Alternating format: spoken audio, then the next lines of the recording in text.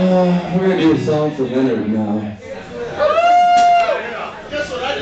We only usually play a song if we have like a four hour set, but this for Leonard.